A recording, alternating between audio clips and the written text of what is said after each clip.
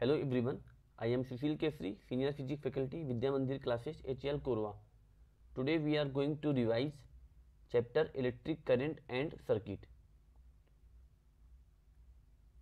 तो इस चैप्टर में हमें पढ़ना है इलेक्ट्रिसिटी का क्या यूज़ है इलेक्ट्रिसिटी कैसे प्रोड्यूस्ड होती है, और इलेक्ट्रिक सेल क्या होते हैं, यहाँ पे कितने टाइप्स के सेल्स होते हैं ये सारी चीज़ें हमें पढ़ना है। सर्किट के बारे में पढ़ना है। इलेक्ट्रिक सर्किट क्या होता है? कितने टाइप्स के इलेक्ट्रिक सर्किट्स होते हैं? तो हमने देखा है कि energy is required for doing work कोई भी काम करना है तो उसके लिए एनर्जी की रिक्वायरमेंट होगी। फॉर एग्ज़ाम्पल सपोज़ हमें कुकिंग करना है तो उसके लिए हीट एनर्जी की रिक्वायरमेंट है। Mechanical energy for cycling cycling करना है तो उसके लिए मैकेनिकल एनर्जी की रिक्वायरमेंट है wind energy for running wind mills तो इस टाइप से बहुत सारी एनर्जी हैं तो different form of the energy are use to do different types of work तो वर्क के अकॉर्डिंग हम डिफरेंट टाइप की एनर्जी का यूज़ करते हैं। तो उसी तरीके से इलेक्ट्रिसिटी या फिर इलेक्ट्रिकल एनर्जी भी है। Electricity is use to perform different kinds of work suppose यहाँ पे घर में लाइट जलती है तो उसके लिए इलेक्ट्रिक एनर्जी चाहिए। Lighting up homes school office streets roads यहाँ पे जो लाइट लगी होती है, उसके लिए इलेक्ट्रिसिटी चाहिए इलेक्ट्रिकल एनर्जी चाहिए। So electricity is produced in huge power plants and distributed to homes office and factories in the form of electric current तो बहुत बड़े बड़े पावर प्लांट्स होते हैं। वहाँ पे इलेक्ट्रिसिटी प्रोड्यूस होती है, वहाँ पे जनरेट होती है और फिर उसके बाद डिस्ट्रीब्यूट होती है ऑफ़िस में, होम्स में, फैक्ट्रीज में in the form of electric current. अब ये जो पावर प्लांट्स होते हैं, वो भी कई टाइप्स के होते हैं। थर्मल पावर प्लांट हो गया हाइड्रो पावर प्लांट हो गया। तो thermal power plants use heat energy hydro power plants use energy of moving water तो जो मूविंग वाटर है फ्लोइंग वाटर है, उसके पास बहुत एनर्जी है। तो इस एनर्जी का यूज़ हम करते हैं हाइड्रो पावर प्लांट में। थर्मल पावर प्लांट में क्या होता है? हीट एनर्जी का यूज़ करते हैं। कोल वहाँ पे बर्न कराते हैं या और भी कुछ ऐसे मटेरियल्स हैं उनको बर्न कराते हैं और फिर उससे हीट एनर्जी आती है और हम इसका यूज़ थर्मल पावर प्लांट में करते हैं। न्यूक्लियर पावर प्लांट है।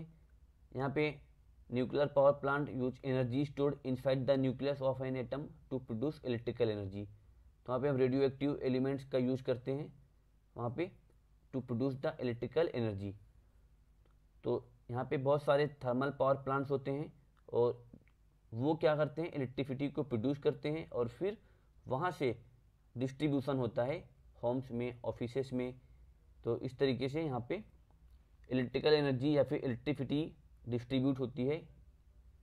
नाउ नेक्स्ट इलेक्ट्रिक सेल तो इलेक्ट्रिक सेल क्या है? ये भी एक सोर्स ऑफ़ इलेक्ट्रिसिटी है, electric cell is source of electricity, और इसको इन्वेंट किया एलेसांड्रो वोल्टा।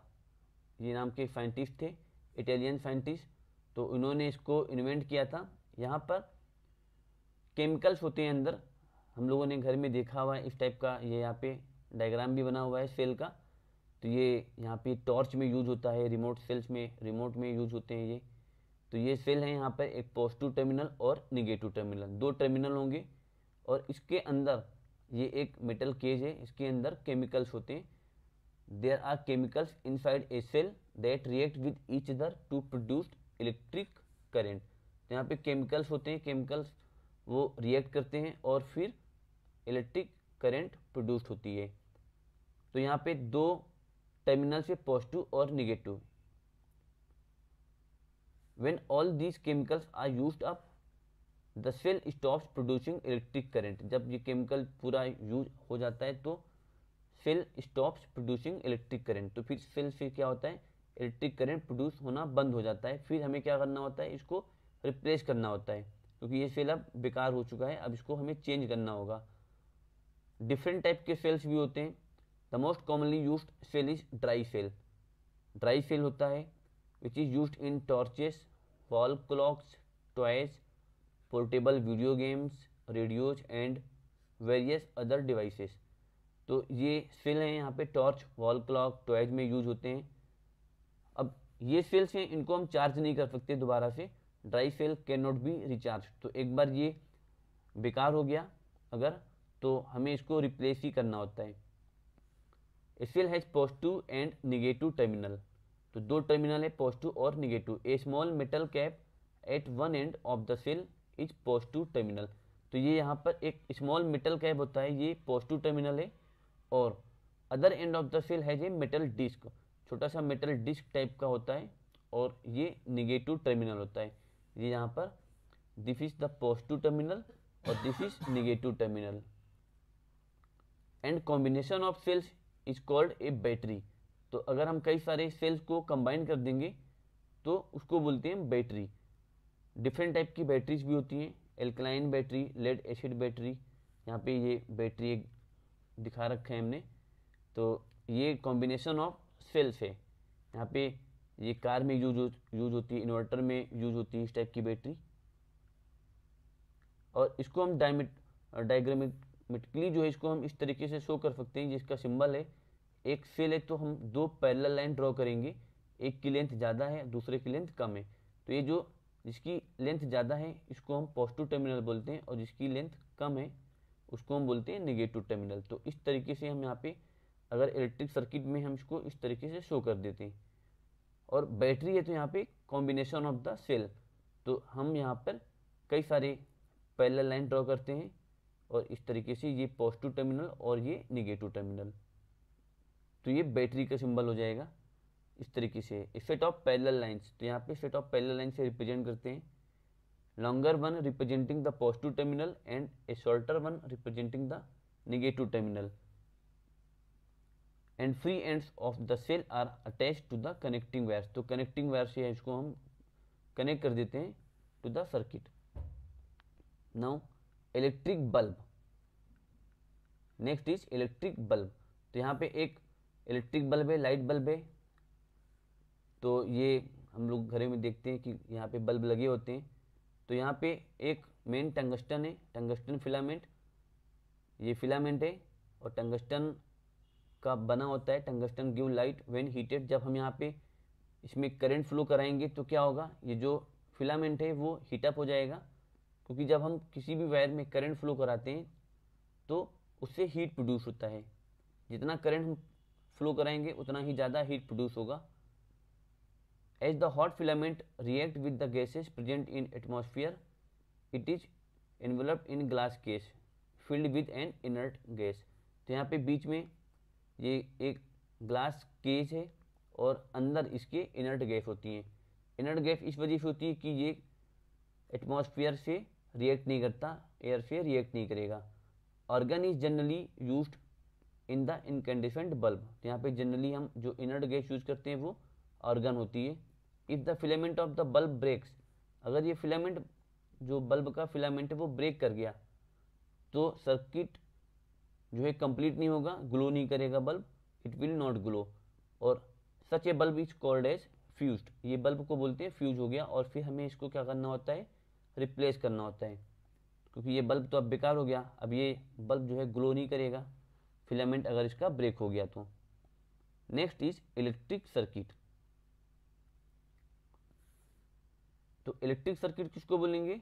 A path that allows electric current to flow is known as electric circuit and a circuit must have source of electricity such as cell load such as bulb and device to control the flow of electric current तो यहाँ पे ये components हो जाएँगे electric circuit क्या हुआ? A path that allows electric current to flow तो उसको बोलेंगे हम इलेक्ट्रिक सर्किट तो यहाँ पे जो मेन कंपोनेंट्स रहेंगे, एक तो सेल रहेगा, यहाँ पे करंट प्रोड्यूसिंग डिवाइस तो एक सेल रहेगा यहाँ पे. ये यहाँ पे हमने सर्किट भी दिखा रखा है, ये पॉजिटिव टर्मिनल और ये निगेटिव टर्मिनल और ये कनेक्टिंग वायर से दिस इज़ कनेक्टिंग वायर और ये बल्ब है यहाँ पर। This is called as load तो यहाँ पे हमने बल्ब का यूज़ किया हुआ है, ये कनेक्टिंग वायर है ये भी। अब यहाँ पे एक हम स्विच भी लगा सकते हैं यहाँ पर। तो ये है सर्किट अब सर्किट दो टाइप के हैं क्लोज सर्किट और ओपन सर्किट यहाँ पे अगर कुछ इस टाइप से कनेक्ट किया गया है कंपोनेंट्स को, यहाँ पे सेल लगा हुआ है कनेक्टिंग वायर लोड और यहाँ पे एक स्विच लगा दिया, ठीक है? और फिर अगर ये करंट यहाँ पे इस सर्किट में फ्लो हो रही है तो हम इस सर्किट को बोलेंगे क्लोज सर्किट क्योंकि करंट तभी फ्लो होगी जब सर्किट क्लोज होगा। तो इस सर्किट को बोलेंगे हम क्लोज सर्किट और अगर हमने इस कनेक्टिंग वायर को एक ब्रेक कर दिया यहाँ पर, यहाँ या फिर हम ऐसा कर सकते हैं यहाँ पर कि जो एक यहाँ पे स्विच लगा देंगे और स्विच को ऑफ़ कर दिया। तो स्विच ऑफ़ करने से क्या होगा? सर्किट ओपन सर्किट हो जाएगा। और जब सर्किट ओपन हो गया तो इसमें कोई भी करंट फ्लो नहीं होगी, क्योंकि करंट फ्लो होने के लिए एक कंप्लीट पाथ होना चाहिए। तो ये सर्किट है ओपन सर्किट यहाँ पे, ये यहाँ पे ब्रेक है। यहाँ पे ये कनेक्टिंग वायर सेल ये सेल का पॉजिटिव टर्मिनल और ये निगेटिव टर्मिनल बट यहाँ पे ये वायर यहाँ से ब्रेक है कनेक्ट नहीं है। दिस इज़ बल्ब ये लोड है यहाँ पर। दिस इज़ बल्ब और ये connecting wire this is connecting wire ये कंडक्टिंग मटेरियल का बना होगा. सो द इलेक्ट्रिक सर्किट ये जो इलेक्ट्रिक सर्किट है, दो टाइप का हुआ क्लोज सर्किट और ओपन सर्किट तो आज के लेक्चर में यहीं तक. इसके बाद का जो रिमेनिंग टॉपिक्स बचे हुए हैं, वो नेक्स्ट लेक्चर में हम लोग डिस्कस करेंगे. I hope you understood the explanation thank you